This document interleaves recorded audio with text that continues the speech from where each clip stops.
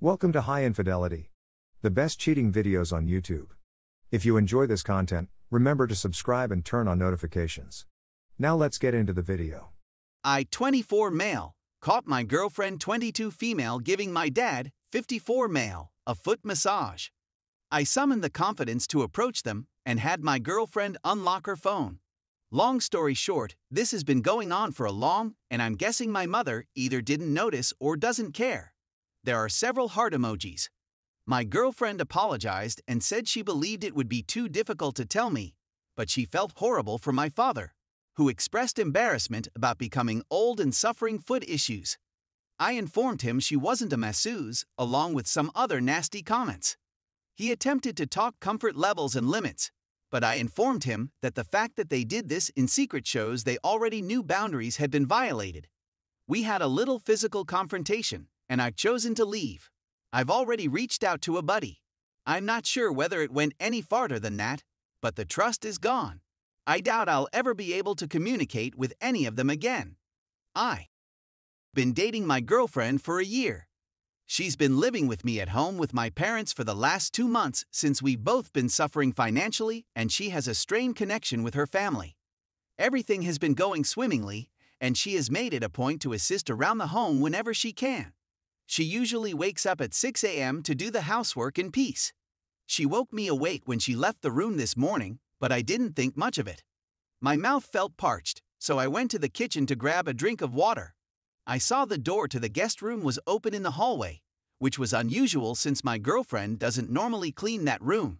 When I opened it, I found my father sleeping on a chair next to the bed, his feet up, and my girlfriend seated in front of him, her hands wrapped around one of his feet. They were both dressed to the nines. They both glanced at me, I returned their gaze, and I silently returned to my room, closing the door behind me. I heard my girlfriend knock on the door and tell me it was only a foot massage and that it wasn't what I expected, but I ignored her. I also heard my father banging and calling me immature, followed by my mother pleading with me to come out for supper at the very least. I attempted to go through her phone for any odd text messages, but it was locked.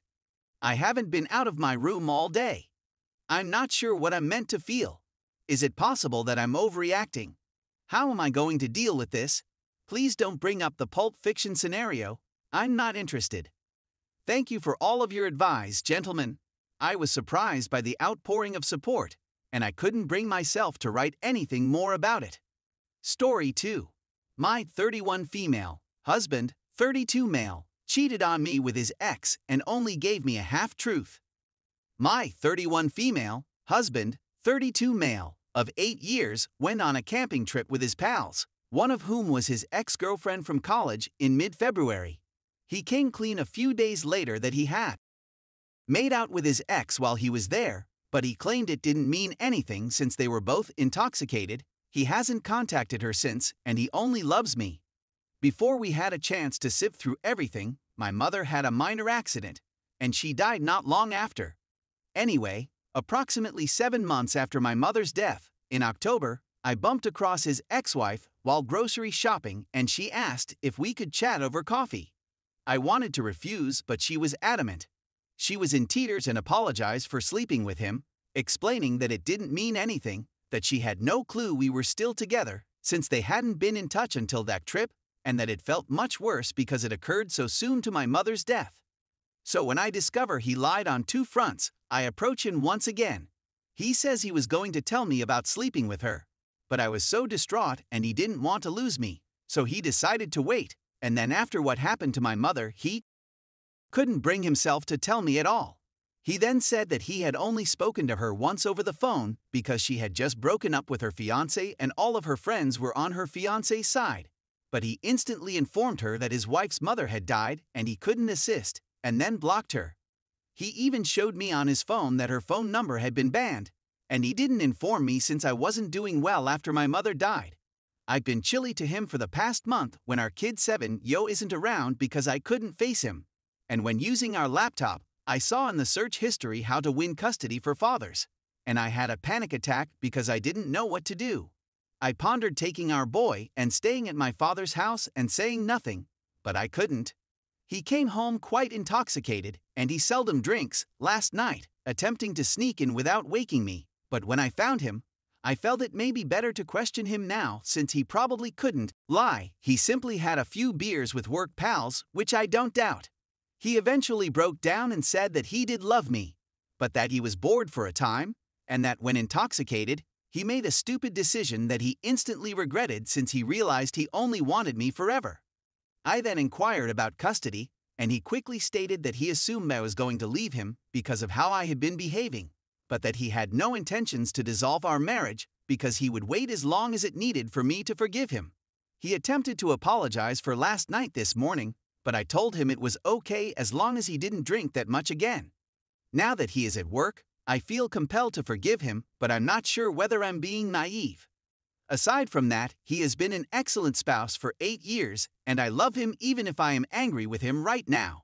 Do I have to forgive him? Story 3 is my 19 female boyfriend 23 male getting his romantic feelings confused with friendship feelings? I've been dating my guy for a year. I had to urge him for real discussions. I also had breakdowns because he never complimented me. He hardly does it anymore. He is not at all romantic.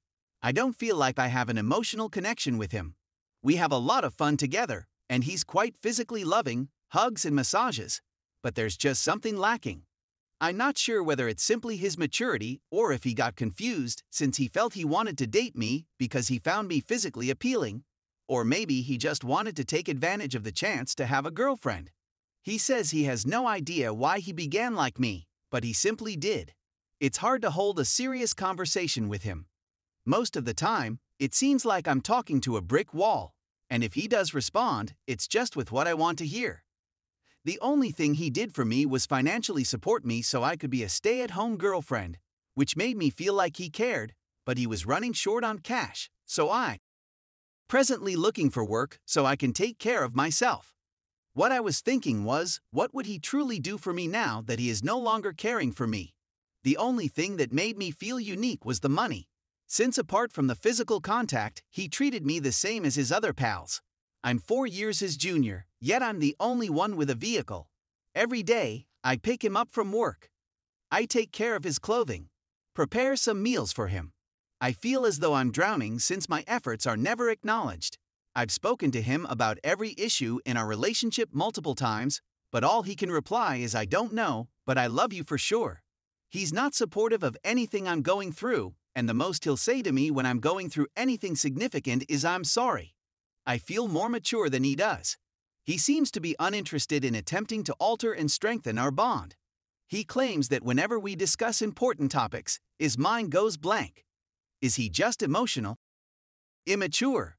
Or am I just not the right person for him, and he isn't aware of it? I try to make him think about it a lot, but he never appears to do so. Our life is another factor that makes me believe he regards me more as a friend. When we initially started hanging together, it was every other day, then every other two days, and now once, maybe twice a week if I'm fortunate. I almost always have to take the initiative. However, when we started dating, he said that he would view porn around 3 4 times each week. And now, I'm envious because he's more interested in porn than he is in having with me. And because we've just been together for a year, I expect it will continue to fall over time. He claims he merely has a low drive. Yet before we started dating, he was always looking at women on the internet and complimenting them. He said that it meant nothing when he complimented them. And he doesn't congratulate me as much since it truly means something. What the hell does it even mean? I'm quite sure he thinks I'm ugly. But he looks me in the eyes and tells me I'm not, and that's not true. He claims he can't be amorous and has difficulty complimenting me. Even after he's made me weep, he stares at me with a face devoid of emotion, yet he'll still give me a hug or stroke my back without saying anything soothing. Could someone please assist me in making sense of what's going on? I'd want to hear your thoughts.